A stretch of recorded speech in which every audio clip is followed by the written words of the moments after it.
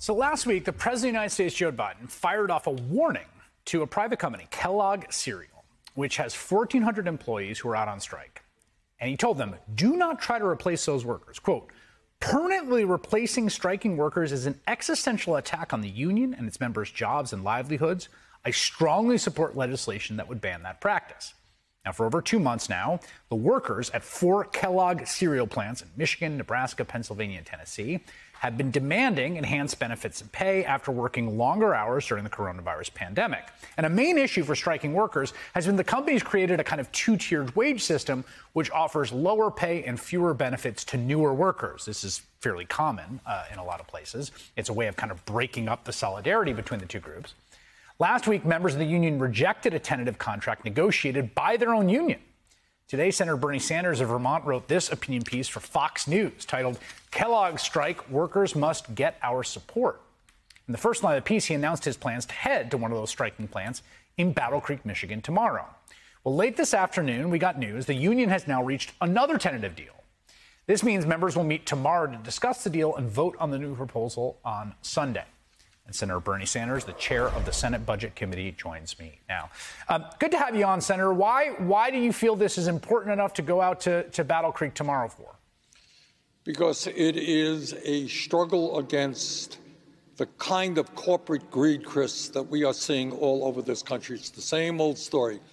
This is a company that last year made $1.4 billion in profit, a company that can afford to provide $12 million in compensation to its CEO. And meanwhile, the reason it made this money is because during the pandemic, these workers, unbelievably, they were working 50, 60, 70 days in a row, sometimes 12 hours a day in order to feed America. I talked to a guy there who worked 120 days in a row. Can you imagine that? That's totally insane. So these workers literally put their well being, their families, their lives on the line in order to feed America, in order to keep the company going. And then the company's response was to the strike is, well, we're going to cut all of your health care benefits. So you got workers out there who have no health insurance now. We're going to bring in replacement workers. Oh, yeah, I know you have you have worked for me for your whole life. Maybe your dad, your mom worked for me. That's the case there. People have de- devoted their entire adult lives to Kellogg's, and now they're prepared to replace them. And then, on top of that, they're planning to ship 275 more jobs to their plant in Mexico, where the starting wage is 97 cents an hour. So, what Kellogg's is doing, the rich get richer, CEO does fine, Dividends are high, and yet workers are giving up their lives in many respects. I don't know what it's like to work 120 days yeah. uh, in a row. Yeah, I want to. Uh, I want to just emphasize something you said there because I think it's an important part of the story. You said it's a it's a same old story. It is in many ways the same old story, but there's a new there's something new here, which is, you know, a year and a half ago when the whole world, I mean, literally the entire world, billions of people were on essentially stay-at-home orders people, millions of people in this country, millions of people, people would go to the grocery store once a week to feed their family when you couldn't go out and do anything. And there was food in the aisles. And the reason there was food in the aisles was because there were workers at the grocery stores who were showing up every day in the midst of a once in a century pandemic. And at the other end of that supply chain, in Battle Creek, Michigan, or wherever, there were people in the factory day in, day out in the midst of a pandemic making sure that food got made. I mean, these are those literally those people who fed the country during the pandemic. They are they were called appropriately so heroes.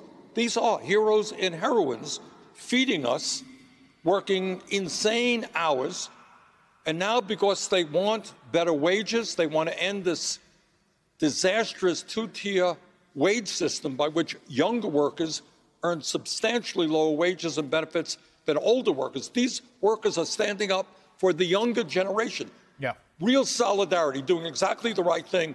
The company responds in an incredibly abrasive and, and outrageous way. So I am proud. I mean, these people are really heroes and heroines. They are incredibly courageous. And what they are fighting against, that type of corporate greed, is what we are seeing all over this country during the pandemic when thousands of workers died because they had to go to work yeah. in order to feed their families. The billionaire class made huge amounts of money. So I am proud to stand with these workers and their union uh, tomorrow. You're, you're standing in, inside the Capitol where I hear your, your voice reverberating off the marble. And so I have to ask you uh, as well about uh, what, what looks like uh, uh, what will be the end of the year without the Build Back Better agenda passing out of the Senate. Um, there's multiple interpretations of the ongoing conversations with Joe Biden and Joe Manchin, uh, President Joe Biden and co-president Joe Manchin about uh, whether whether this is going to happen. And I guess there's two ways to interpret it. One is Joe Manchin is essentially acting in bad faith and kicking the can until it can die. And the other is the fact he's still talking, the fact he's still engaging on details means that there is an actual negotiation ongoing. And which of those two are your interpretation? Well, let me just say this, and I hope everybody in America understands it. You got 50 people in the Republican caucus.